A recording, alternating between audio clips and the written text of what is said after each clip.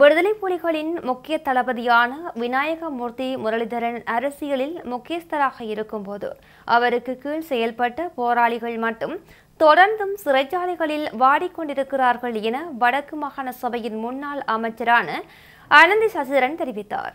மேலும் இவர்களை விடுதலை செய்ய அரசாங்கம் நடவடிக்கை எடுக்க வேண்டும் என்றும் அவர் கோரிக்கை விடுத்தார். யாழில் நேற்று இடம்பெற்ற ஊடகவியலாளர் சந்திப்பின் போதே அவர் இவ்வாறு தெரிவித்துள்ளார். மேலும் தமிழ் அரசியல் கைதிகள் விடுதலை செய்யப்பட வேண்டும் என்றும் விடுதலை புலிகளின் முக்கிய தளபதியான விநாயகமூர்த்தி முரளிதரன் அரசியலில் முக்கியஸ்தராக இருக்கும்போது அவருக்கு கீழ் செயல்பட்ட போராளிகள் மட்டும் தொடர்ந்தும் சிறைச்சாலைகளில் வாடிக்கொண்டிருக்கிறார்கள் என சுட்டிக்காட்டியுள்ளார். இவ்விடயம் சரியான நீதி இல்லை என்பதையே எடுத்துக்காட்டுகின்றது என குறிப்பிட்டுள்ள அனந்தி எனவே புதிய ஆட்சியாளர்கள் தமிழ் அரசியல் கைதிகளை விடுதலை செய்ய வழிவகுக்க வேண்டும் என மேலும் தெரிவித்தார்.